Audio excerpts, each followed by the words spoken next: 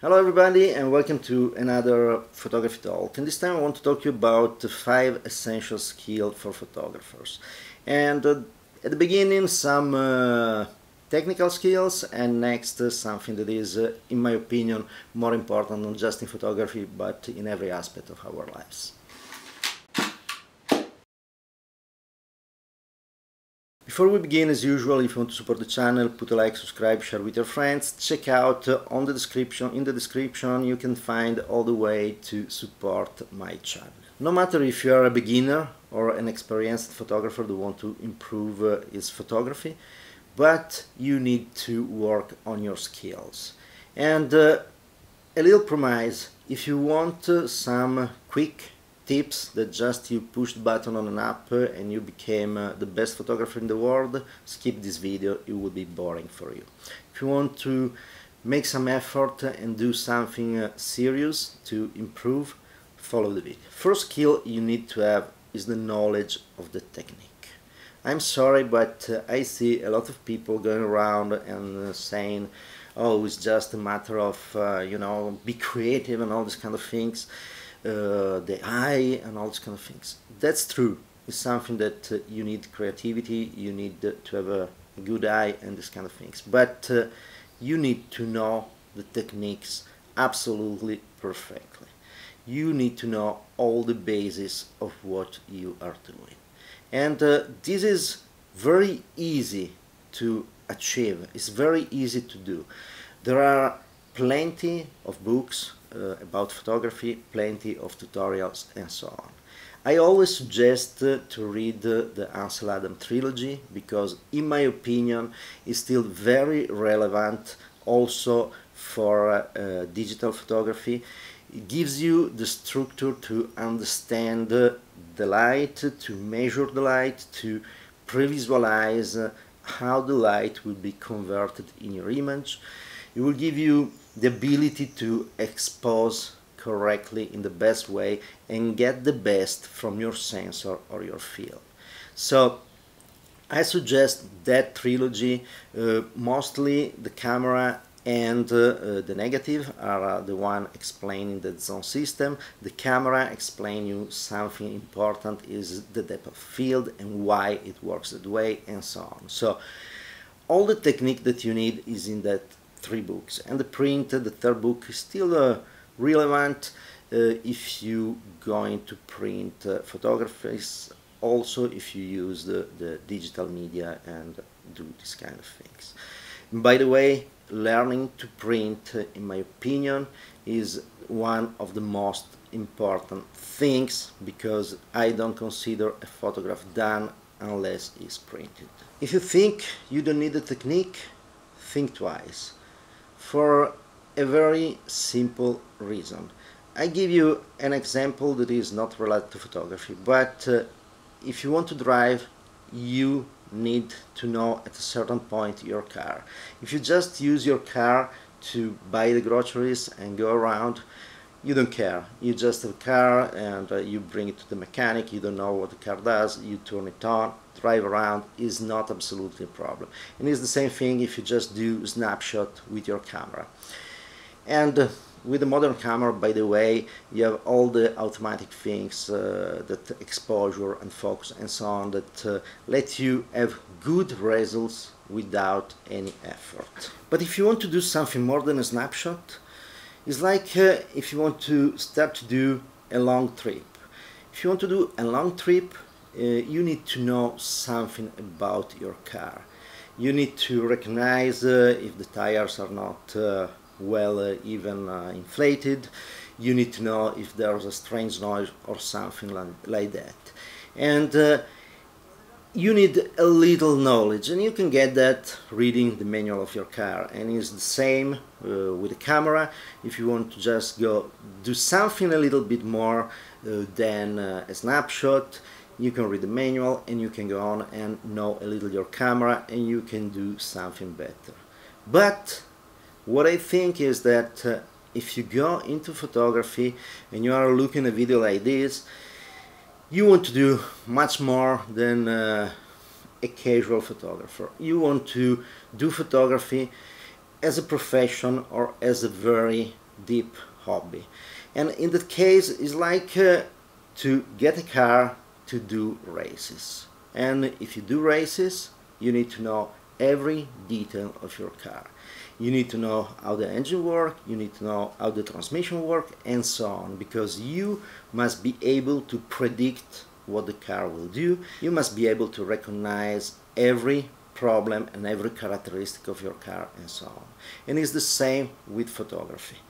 If you want to do photography in a professional way, you really need to be the master. The camera must be something that you don't even notice. So you need to have the ability to pre-visualize an image and uh, transform your idea, your visualization in an image. And to do this, you must know 100% the technique. So it becomes something that is uh, secondary, you don't even think about it, and you can concentrate on your photography. So this is the first thing that you have to learn. Go, read books, watch tutorials, uh, go to workshops, and learn everything about the photographic technique. The second skill you need is uh, to master the light. The light is the essence of photography. Photography is basically writing with the light. So you need to be able to manipulate the light, to measure the light, to work with the light. You must be in a strict relationship with the light. And uh, that is another thing that uh, nowadays is underevaluated because you have uh, cameras that do everything for you. So they are good, they are precise. So you go around, you have these uh, electronic viewfinders, so you see the image on the viewfinder in the viewfinder, exactly the image captured by the camera, and all these kind of things. But it is something that again, you depend on the camera. If you want to be a professional, if you want to be a good photographer, you need something more than that. And so study the light. To study the light, the best thing you can do is to play with lights in a studio. That's something that is, uh, no matter if you just uh, usually take pictures uh, outdoor uh, with natural light and so on. But if you know how to manage the lights in a studio, you will start to learn all the relationship between the lights. You will start to learn the different source of illumination and so on.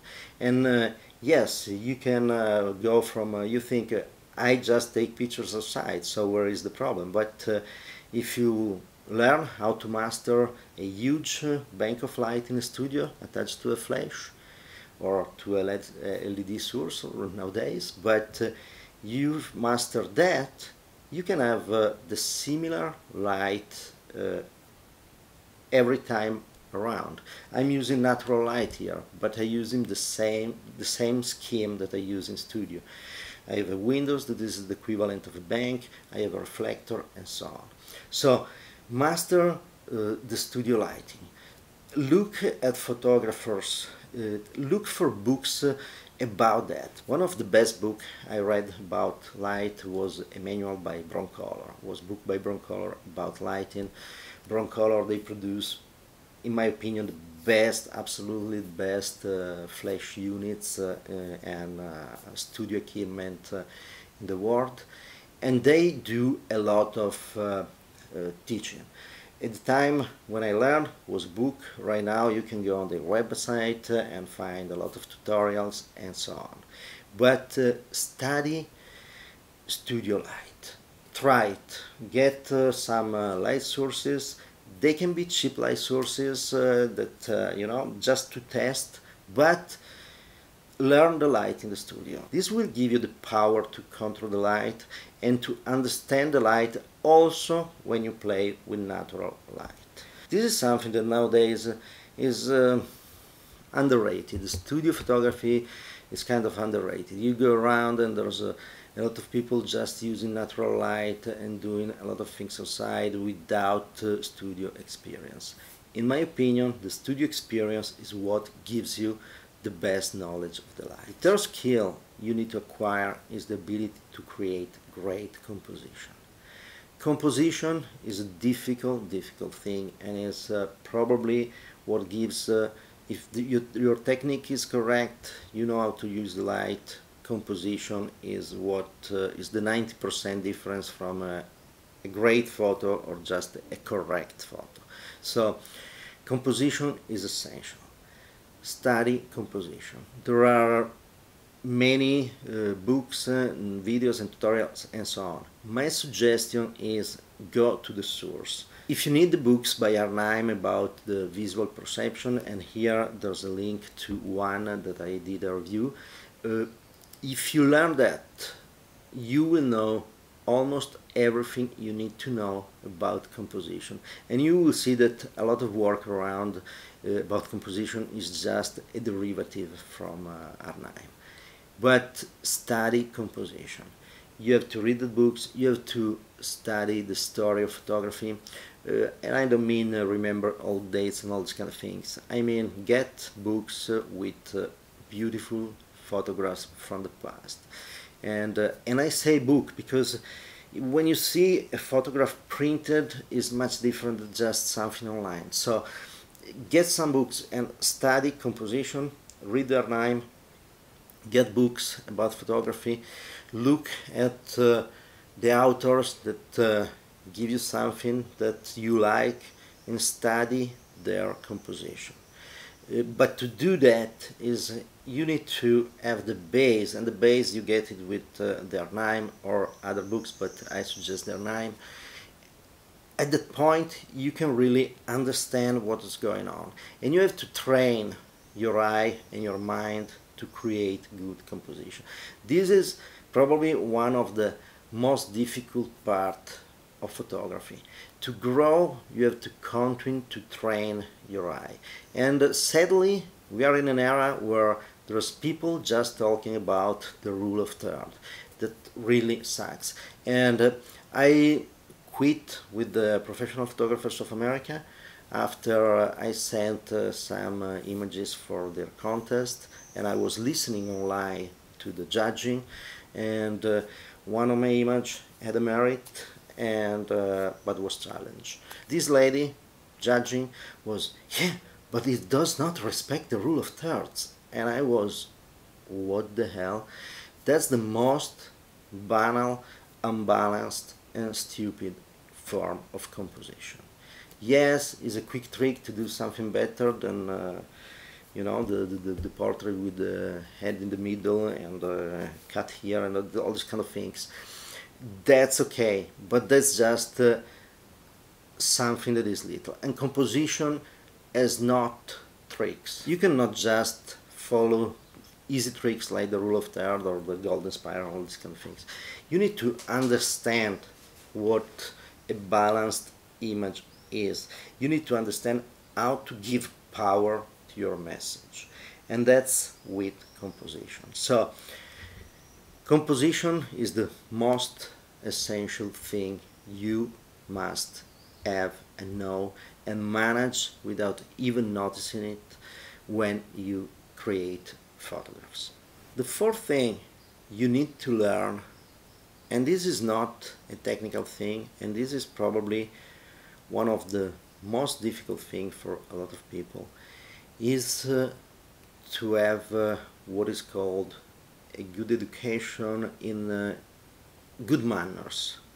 Let's call it good manners. Be polite, be uh, a nice person. And this is absolutely important. When you take photographs, you interact with the world. And I'm so tired to see people going around and think that just because they have a camera they can do everything they want. I see people, uh, a lot of time I saw people pointing the camera to my face or something like that without asking and usually uh, this is the answer. And uh, usually they get uh, my middle finger in front of their camera and not pictures if I see them. But uh, that's that. That's the interaction with the people. There's interaction with the property. I see all these uh, things like urbex and uh, where people go in private property, no matter if they are abandoned or not, without any respect and start to take pictures. This is something that you must learn to not do. You must uh, really develop your education, develop your skills. So when you interact with other people or the property of other people, you do it in the correct and polite way. So you ask permission, you evaluate a scene. If you do, for example, street photography, ask yourself what you do if you are on the other side of the camera. If you are the subject of the photograph you are taking, you think it's okay or you think what the hell. So start to put yourself on the other side of the camera mentally and uh, be correct, be polite. There are many rules, too many rules in this world that uh, we go to absurd things like uh, having to pay uh, the French government if you take a picture of uh, the Eiffel Tower at night and want to use it uh, for you, we make money selling them the print or something like that. That's absolutely, in my opinion, BS. But education and common sense is not. So, okay, you are photographing uh, the Eiffel Tower. That's evidently something that is made to be public. But uh, I don't know if you see a beautiful yard uh, in the you walk in the city, you see the arch entrance. This is very common in Italy. You walk inside the internal yard and take pictures. Is that correct?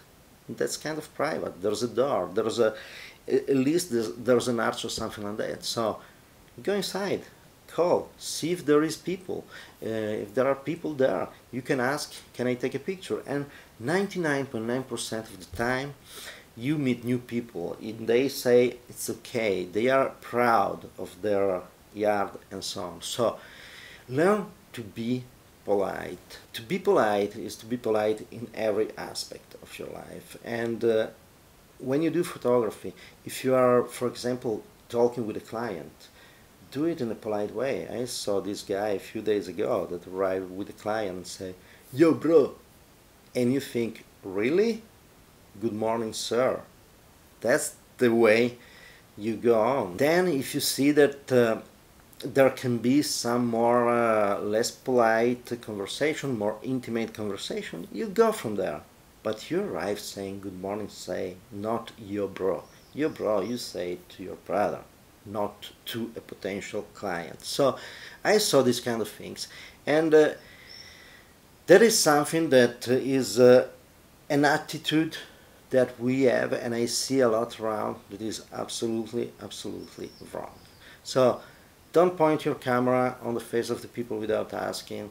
Don't uh, invade private property. Don't be an ass just because you have a camera. Be polite, be kind, and interact with people. The fifth skill you must have and you must learn is to be ethical.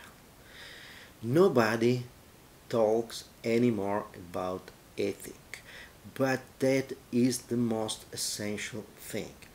Photography is something that can change the world. If you think there have been many photographs that really change the world and the perception of the world. You have some power. It can be the power to convince people to buy these glasses instead of this memory card, but still it's a power. And uh, the power of photography is that it's connected to the idea of uh, reproducing the truth and all these kind of things. And in photography, as in your life, you need to have a moral code and use ethic. And think about and you take pictures again street photography. Put yourself on the other side and think it's morally right and it's ethic for example to use the image where there's people doing something that uh, if you were on the other side you didn't want it showed or these kind of things. Uh, you do commercial photography where is your uh, limit where is the the border that you don't want to cross I did commercial photography for all my life, and there were things that I didn't do. When a politician arrived, was organized uh, for the campaign. Oh, you know, yeah, you know, a doctor at the hospital. So can you organize with sick kid uh, so we can go there? I will be there smiling, and we can see the yeah, with they vote for us, we can cure sick kids. My answer to the phone was. Uh, first of all was okay probably you are from this party so screw you anyway but was screw you i don't do these things and it's the same uh, on every aspect. Think about ethic. You have now the possibility for example to change the photographs a lot to manipulate the photographs. You can change the sky. You can change uh, you can take away parts of the photograph. You can uh, replace the trash can and all these kind of things. Think is that ethical for you? You must create your kind of moral code about photography. What is for you important to communicate, to transmit? What are the limits you want to cross or not? And based on that, create your own ethic. This is one of the most difficult things. The education, the good manners are very difficult because you, if you are not born with that kind of education, it can be difficult, but uh, uh, it can be difficult to learn. But it's very easy because it's very easy to say to a person good morning instead uh, good morning sir instead of your bro. The ethical part can be very easy to design your moral code and your ethic, but it can be very difficult to do. And I give you an example. It, for me, something that is uh, fantastic because uh, resume all the ethical concepts that I know together is the four-way test. And the four-way test was invented by Herbert Taylor and became uh, something that uh, done in the Rotaries for many years in the Rotary The four-way test is very easy because it's simply of the things we think, say or do, you have to ask yourself, is it the truth? Is it fair to all concerned? Will it bring goodwill and better friendship? And will it be beneficial to all concerned? So this is a way to put together a lot of uh, different moral codes and ethics in something that is very practical. It's very easy to use. The four-ways test uh, on one side is very easy because it's uh, very easy to, you know, just ask yourself those core questions. But to stay in it is uh, much more difficult. Just in photography, if you think right now, uh, is it the truth? and you think, okay, I remove something in Photoshop or doing these kind of things, still I stay in there. But do an effort to create uh, a moral code. Again, the four-way test is a great one to adopt, but uh, do an effort to create an ethic and be ethical when you work. You have power. As a photographer, you have a lot of power because you have the power to influence the world. You have the power to change things. Uh, think about the Vietnam uh, girl uh, escaping from the, the famous Vietnam girl escaping from the napalm. That really changed the world and the, how we perceive things. Um, think of the images of the 9-11. Think all these kind of things. You have a lot of power. It can be commercial power, it can be political power, it can be uh, emotional power, but with your images you have power. So really design a code of ethic and uh, follow it and try to follow it and that will make the difference between a professional photographer and a prostitute for somebody. We sadly are seeing right now a lot of prostitutes and very few professional photographers especially if we go on photojournalism and all these kind of things we see a lot of people just uh, uh, do what they are paid to do with the thesis. They just take pictures to demonstrate the thesis uh, of the of the people, the person paying. And I think we must change this, and we must start to develop uh, our own ethic uh, and follow an ethic. So these were my five suggestions. As usual, I went probably long, but if you enjoyed the video, please put a like, subscribe, share with your friends. Let me know in the comments what you think about this, and if you want to go a step further, get Photography Dev Manual. On these books, you will have uh, all the essential the essential knowledge about photography techniques is a great starting point to learn photography. Thank you very much for watching and see you next time.